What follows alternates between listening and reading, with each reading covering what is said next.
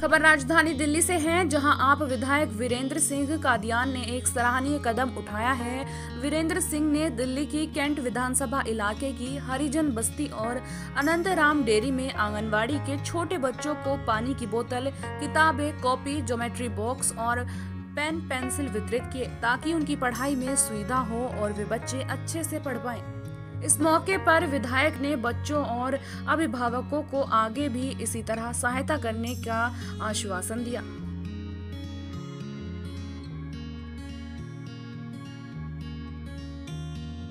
दरअसल कोरोना के मामले कम होने के बाद स्कूल से लेकर आंगनवाड़ी सभी केंद्र खुल चुके हैं और बच्चों को अब स्कूल में सामान की ज़रूरत पड़ेगी। इसका ध्यान रखते हुए विधायक ने बच्चों को बहुत ही गुणवत्तापूर्ण, अच्छी क्वालिटी की पानी की बोतल और किताबें समेत अन्य सामान उपहार स्वरूप दिया।